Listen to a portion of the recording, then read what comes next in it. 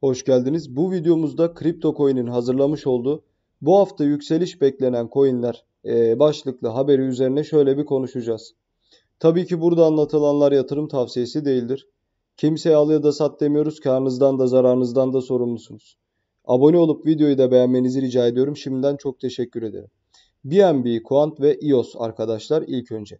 Bir kere şunu söyleyeyim. E, bu hafta derken e, şöyle bir açıklama yapayım. Yani bu hafta içerisinde özel bir şey beklenmiyor. Yani bu hafta demek ne kadar doğru bilmiyorum ancak buradaki coinler nihayetinde e, olası durumlarda yön yukarı yap, yön yukarı kısa vade hareketlerinde yukarı potansiyelli coinler arkadaşlar. E, çünkü hem yukarı potansiyelleri var hem de hızlı yapıdaki altcoin'ler. Yani e, dominans etkisinde ciddi ezilmemek kaydıyla e, Bitcoin hareketlerine hızlı tepkiler veriyorlar. Bu şekilde bir açıklama yapmış olayım. BNB, Quant ve EOS. BNB zaten geçtiğimiz günlerde yaptığı yükselişlerde kendini kanıtladı. Hem e, BTC paritesindeki ATH'ı hem günlükteki MA200'e yükselişi gibi e, hareketlerle yükseliş potansiyelini çok fazla kanıtladı. E, Quant'a gelecek olursak zaten Quant geçtiğimiz günlerde yaptığı güncellemeyle yükseltmeyle arkadaşlar yine e, aynısı iOS için de geçerli biliyorsunuz. iOS'ta, Quant'ta böyle bir duyuru yaptılar.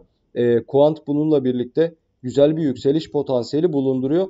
Hakeza iOS da yine markalaşma tarihini vermişti.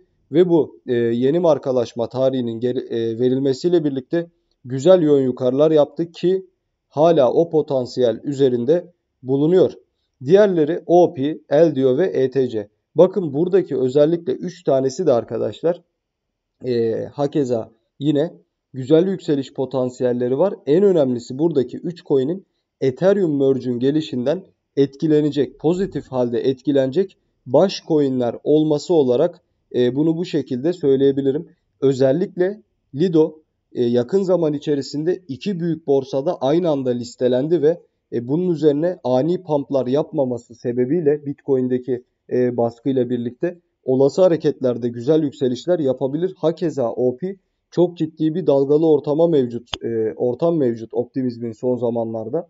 Bu durum da arkadaşlar ciddi geri çekilmeler, ciddi yükselişleri e, etkisinde barındırıyor. Ethereum klasik hakeza arkadaşlar Ethereum merge'ün gelişi e, geliyor olması sebebiyle güzel yön yukarı potansiyeller bulundurmakta. İzlediğiniz için teşekkür ediyorum. Abone olup videoyu beğenebilirsiniz. Bol kazançlar dilerim hepinize. Hoşça kalın.